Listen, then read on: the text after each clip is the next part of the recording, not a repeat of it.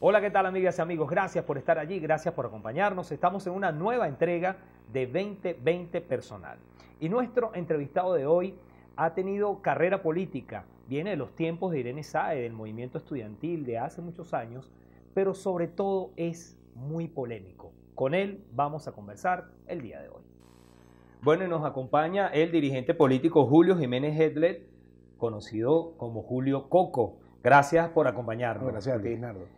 Bien, bueno, como lo hacemos con todos nuestros entrevistados, te explico la mecánica del programa. Son 20 preguntas para 20 respuestas. Eh, yo no repregunto, una situación un poco difícil para un periodista, pero yo hago la pregunta y tú respondes como quieras. Eh, de estas 20 preguntas hay una pregunta que yo escojo de la audiencia. Las vi todas.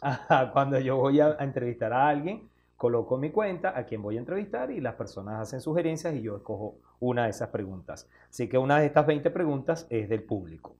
Bueno, también le pedimos a nuestros invitados que juren sobre la Constitución, que van a responder con la verdad a las 20 preguntas que le vamos a hacer y por eso... Lo voy a hacer por ti porque yo no juro. Ah, muy bien. Yo soy total y absolutamente ateo.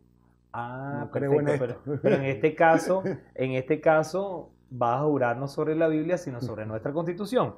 Bueno, juras decir la verdad o responder con la verdad a estas 20 preguntas que te vamos a hacer. Lo juro.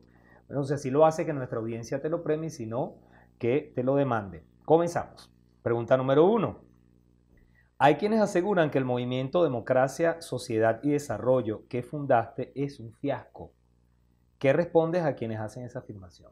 Mira, yo creo que valorar el, impacto político, social y de crecimiento de un movimiento que solamente tiene dos años y que nace en el medio de una dictadura, me parece una valoración subjetiva.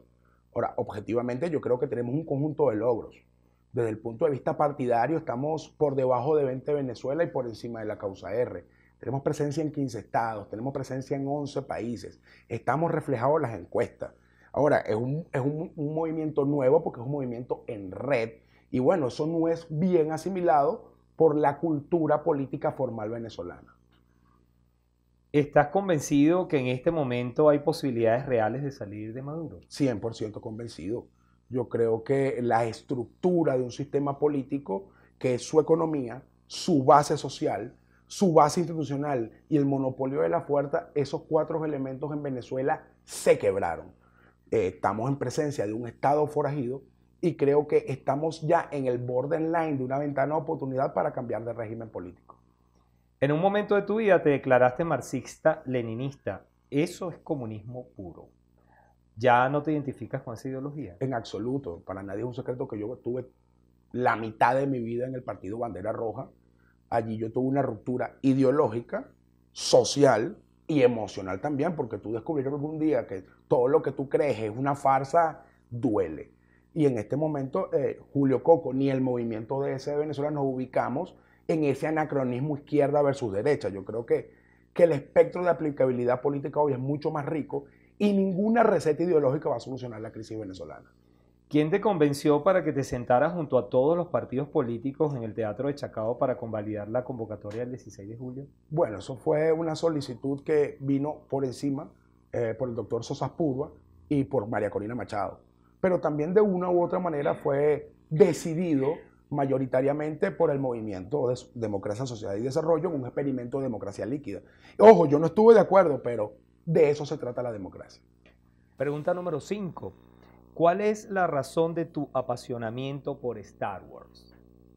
Mira, yo creo que la épica Star Wars es un reflejo de la vida. Yo creo que es la eterna lucha del bien contra el mal eh, en esa historia, sobre todo en las tres eh, películas originales, se habla mucho de la política, es eminentemente político, es una crisis familiar, es una crisis de valores y es el venir desde abajo hacia arriba confrontando el mal. Yo creo que es la épica perfecta. Tu vida política pasó por apoyar a Irene Sáez, trabajar con la Coordinadora Democrática. Te eligieron como integrante del Comité Central de Bandera Roja y estuviste en los inicios de la mesa de la unidad democrática. ¿Eso no te hace responsable también de los errores que se han cometido? Por supuesto, por supuesto. O sea, uno no puede criticar a otros sin autocriticarse. De hecho, yo que estuve en el comando de campaña de Capriles cuando enfrentó a Chávez en el 2012, eh, creo que algo que hice grave fue no denunciar las cosas que estaban ocurriendo en el comando de la unidad en ese momento. Y es ahí donde yo comienzo mi fractura con la mesa de la unidad democrática. ¿Eres tocayo de Julio Borges? ¿Se parecen en algo? No, la verdad no. Yo creo que, eh, sin querer desmeritar a, Borges, él tiene un perfil de vida, un eh, su carrera secular es abogado, y la forma como él visiona la política es completamente distinta a la mía. De hecho, yo soy TCU en química. Imagínate, contra un abogado son, son muchas las diferencias. Eh, yo tengo una visión del, transversal de la política, no una, no, una, no una visión vertical, pero por sobre todas las cosas, eh, yo me debo más a lo que, a donde provengo. Mira, bienvenido a mi casa este, que es mi gente, que es mi movimiento, que es mi familia, que es lo que me encuentro en las calles, que con las élites. O sea, no, no hay nada en común. Me aseguran que eres excelente cocinero. ¿Existe algún plato con el que nadie compite contigo? No, yo creo que soy un aficionado, sí cocino, y tengo mis ídolos en la, cocina, como lo, quien tiene su ídolo deportivo, y sí, hay miles de personas que cocinan mejor que yo. ¿En esta carrera política cometiste algún error del cual te arrepientas hoy? Sí, yo creo que hice, cometí un error al apoyar eh, lo del 16 de julio, porque me siento copartícipe de esa gran estafa que se le hizo al país. Yo, yo incluso días antes dije, yo no estoy de acuerdo, no estoy de acuerdo, no estoy de acuerdo. Eh, fueron muchas, como te dije, los debates internos en DSD, se tomó la decisión, fueron muchas las presiones externas, pero no presiones negativas, presiones positivas. Yo cedí y bueno, el tiempo me dio la razón y todavía me siento mal por eso. Pregunta de la audiencia, como te decía, hay una pregunta que siempre incluimos. Juan José la hace, arroba Juancho200678. ¿Por qué hablas de dimisión? Usar ese término no significa que estás asumiendo que Nicolás Maduro es el presidente legítimo. En absoluto. Primero, no es lo mismo como dimite un, un presidente o un primer ministro en democracia a como dimite un tirano. O sea, la dimisión del tirano es que se monte en un avión y se vaya. De eso se trata.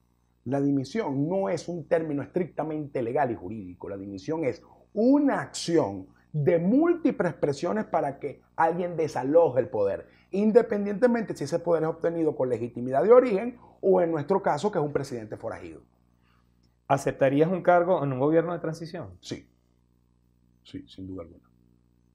¿Es cierto que tu apodo de Coco surgió de tus compañeros de estudio porque eras un fajado y sacabas buenas notas. Eso fue en noveno grado en el Liceo Carnaval en el Tigre.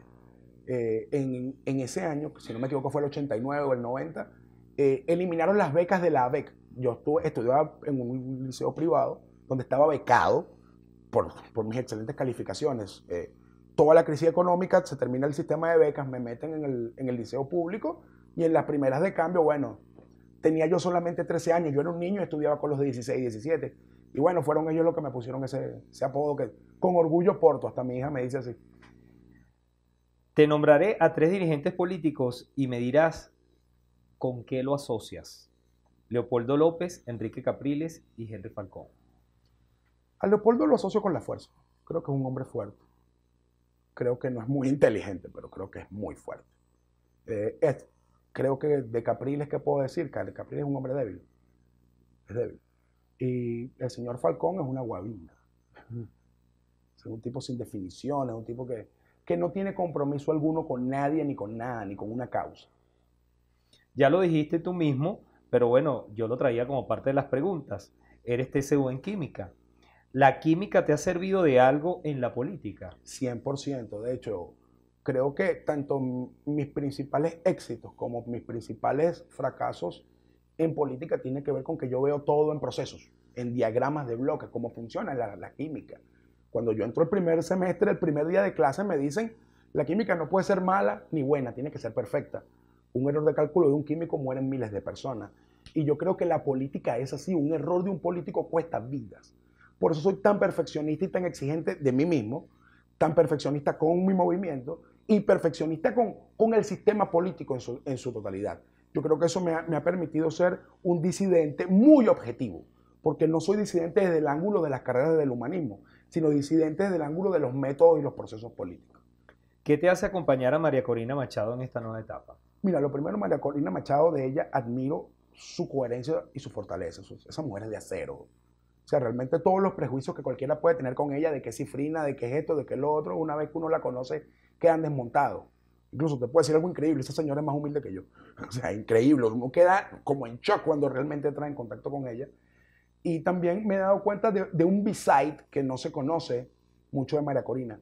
Es brutalmente inteligente. O sea, hablar de lo que sea con María Corina es un placer y creo que es alguien que tiene mucho que darle a este país y hay que tomarlo en cuenta. Coqueteaste con voluntad popular. ¿Qué ocasionó el distanciamiento? Ocasionó el distanciamiento de voluntad popular tres elementos. El primer elemento, eh, hay una parte de la fórmula organizativa de voluntad popular que a mí no me va. O sea, yo no creo en las estructuras piramidales. De hecho, DS de Venezuela es un partido, un movimiento en red, donde no hay militancia, sino hay activistas donde creemos en la democracia líquida, donde creemos que las potencialidades y los méritos están por encima de los dedos. En voluntad popular hay una estructura jerárquica que no va conmigo. Eso es lo primero. Lo segundo, por mi trayectoria política soy un hombre de debate. Yo, no, yo soy poco tolerante a que me den órdenes. A mí tienen que convencerme, tenemos que discutirlo y no como líneas de nadie. Eso no va conmigo. Y lo tercero, y en definitiva que abre el abanico. Yo no estuve de acuerdo con que Leopoldo López se entregara. Para mí eso es un hecho que es una decisión personal que yo le respeto, pero no es algo que hace un líder rebelde.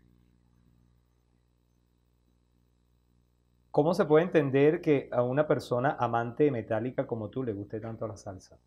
La mayoría de los rockeros nos encanta la salsa. O sea, es al revés. Porque es que, más allá de que me guste metálica, a mí me gusta la buena música. Y sí, me gusta muy, la salsa, también me, encanta el metal extremo, también me encanta el jazz. También, o sea, porque que te guste algo no significa que no te guste lo demás. Ahora, recuerda también que la salsa es el jazz latino del Bronx, desde el punto de vista musical, incluso desde el punto de vista de la épica que plantean la, la salsa, es algo igual de rico que el rock, sin duda alguna. Eres muy polémico y además crítico, pero aunque te metes con el gobierno, nunca te han detenido enjuiciado. ¿Por qué? ¿O es que eres un infiltrado? Mira, infiltrado no soy, porque incluso dentro de las estructuras opositoras no estoy. O sea, tú te infiltras si yo estuviera en Primera Justicia o en algún... Ahí sí te dijera que pudiera infiltrarse. Ahora, ¿por qué? No sé, eso tienen que preguntárselos a ellos porque no han tomado la decisión. Ahora, hay algo que sí aprendí. El, sentido común te cuida. Eh, yo siempre, te pongo un ejemplo, yo no me meto con los hijos de ellos, ni por las redes sociales, ni en público, ni en privado. No me meto con la hija de Diosdado, no me meto con ellos. O sea, nada, ni para bien ni para mal una decisión personal, porque como político tampoco quiero que se metan con mis hijos. Entonces, cuando tú ves que muchas personas atacan a los hijos, ya, ya generan el germen de, de, la sobrevenganza por encima de la política. Y así como otro conjunto de cosas que ya he aprendido en el entendido de que en Venezuela no hay leyes, es un estado forajido, bueno, tú tienes que estar, hacer lo que tienes que hacer y decir lo que solo se debe decir. Yo creo que eso me ha mantenido alejado de tener más enemigos de los que tengo, que ya, que ya son muchos. Ahora, hay algo también, pareciera que más enemigos tengo en la oposición con el PSUV. Es una percepción que tengo. ¿Los dos divorcios que tienes en tu haber son consecuencia de tu mal carácter? Yo no tengo ningún divorcio en mi haber. Este es mi primer matrimonio y te presenté a mi esposa. Yo no tengo divorcio. O sea, me informaron mal. Te informaron mal. Este es mi primer matrimonio. Ahora, con la mamá de mis hijos no me casé. No me casé. Y sí, tengo dos hijos preciosos, viven en Oriente con su mamá.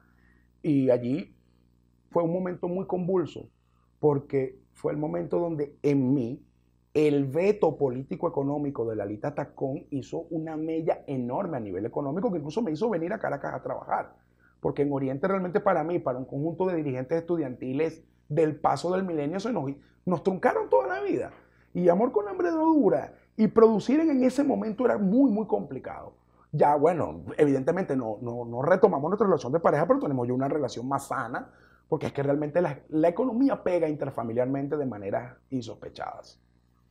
Bueno, y llegamos a la pregunta número 20. Maduro ha liberado a muchos presos políticos, ganándose el rechazo de los más radicales del sector oficial. Ya logró que no se hable del fraude del 20 de mayo. ¿Logrará algo más? Lo primero, eh, dudo de esas críticas de los radicales a Maduro. Lo dudo muchísimo.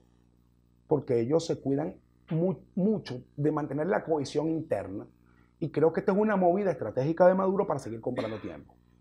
Maduro va a seguir la ruta acordada con Zapatero, que es ubicar un nuevo diálogo con sectores que simulan ser opositores.